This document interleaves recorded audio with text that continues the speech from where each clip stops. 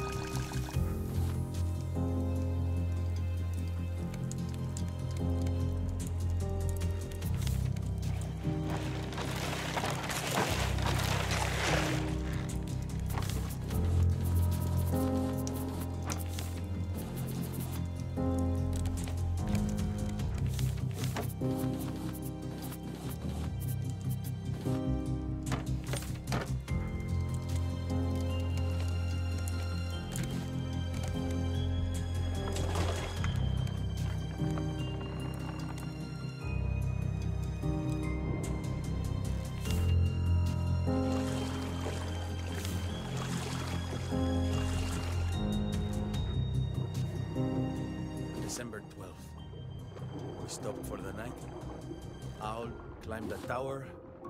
Radio still works, apparently. Should be two weeks before we reach Celine, but the team's not responding. You might say things are a bit tense. The other facilities are underwater, so if Celine is lost, you got nothing. And now, Sparrow's not talking to either of us. I really hope we're not the last hope for humanity.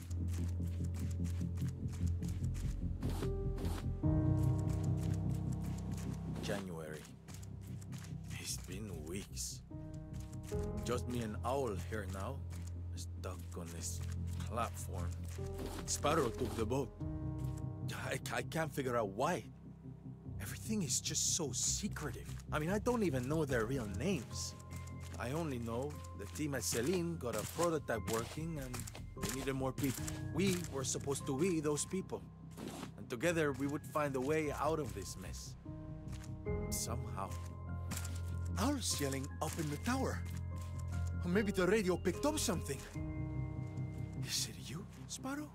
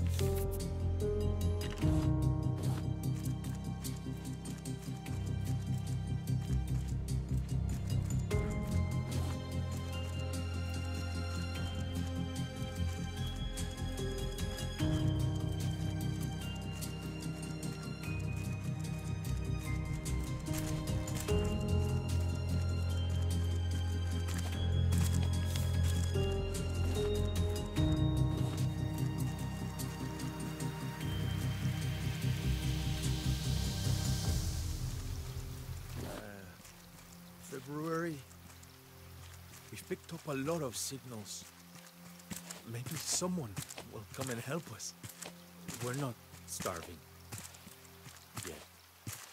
The reactor at Celine might be the only chance we have against this endless ocean. You knew it, Sparrow.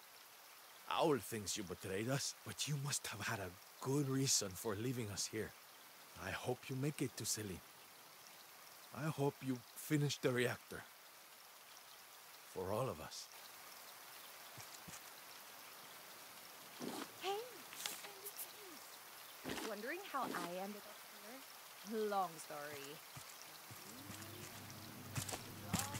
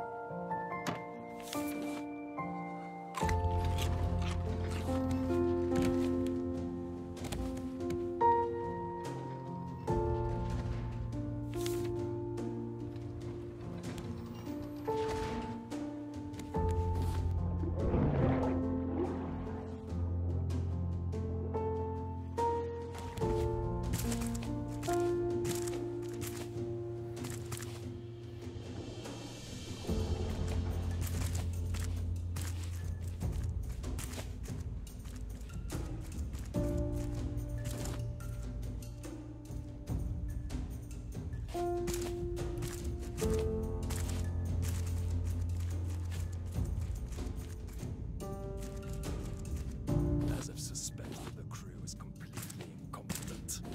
Now they're claiming rats have eaten half of our supplies in a matter of weeks. I promised them increased rations if they could bring me one of these ridiculous lurkers alive. Tonight we're discussing which staff members are most suitable for termination. We heard from the captain that we're heading for one of the high rises down south. I can only hope you come to your senses and follow us. You knew the city was a failure. Why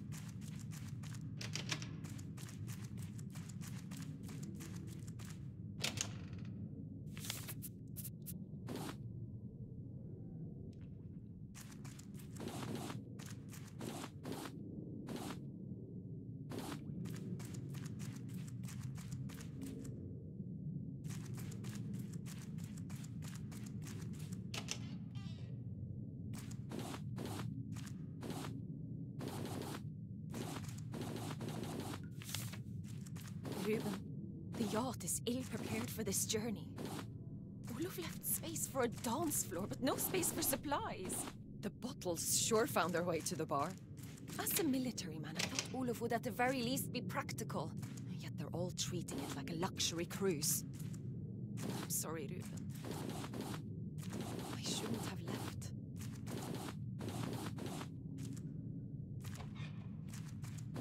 I saw a large rat last night. Unnervingly large. I tried telling the crew we obviously have an infestation among the lockdown supplies. They laughed at me.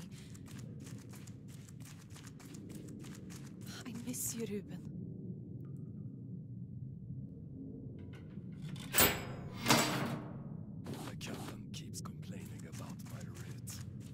If he does it again, he will be reprimanded. The crew doesn't listen to orders. I'm shocked by their undisciplined nature. Somehow they believe rank and prestige disappeared with solid land. No, they will not be allowed to mingle among my esteemed guests, and they will certainly not be allowed further rations. They should be grateful. I am the only reason they are alive.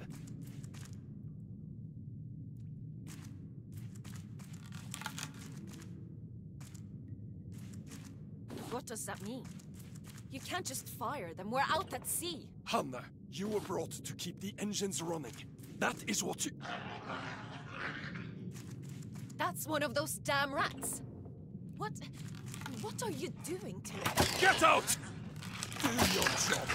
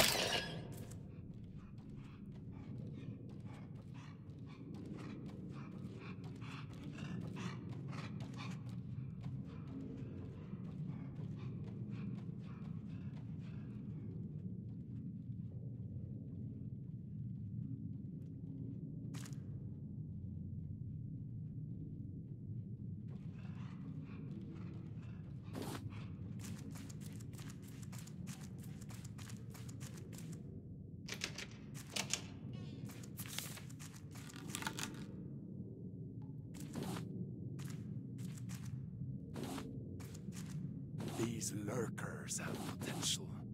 They were clearly once rats, now grown into something much more rabid, yet also smarter. I've already made progress on their training. With food and pain as incentives, I can discipline them. And by sharing their blood, the mutations increase. I wonder if another species would react the same. I've received a transmission from a called Caravan Town. Active animal population. No longer do I need this makeshift crew. I will create true soldiers. Loyal soldiers.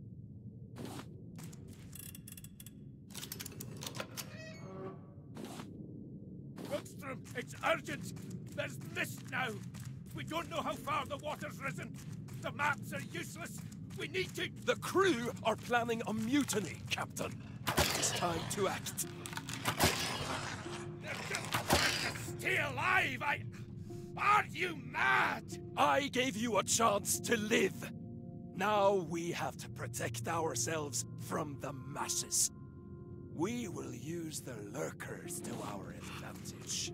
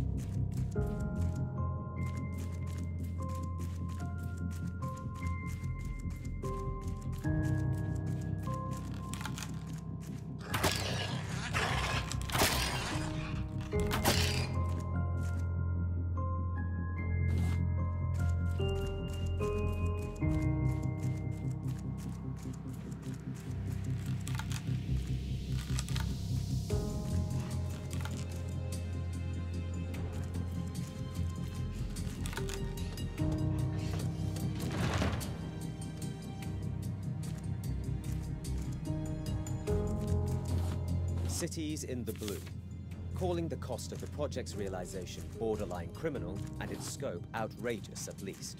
Despite vocal opposition, the Floating Cities project does not appear to be slowing down anytime soon. According to former General Olaf Wilkstrom's latest statement on the issue, we are fully aware of the strain this puts on our people. Nevertheless, our options are becoming increasingly limited. We must pull through this together, or join Stockholm beneath the waves. Wilkstrom refused to comment on the rumors regarding the modification of his personal yacht. When further asked about the Floating City Project's whistleblowers, Olaf Wilkstrom chose to terminate the interview. Reaching out to these anonymous sources, we were able to further corroborate his story.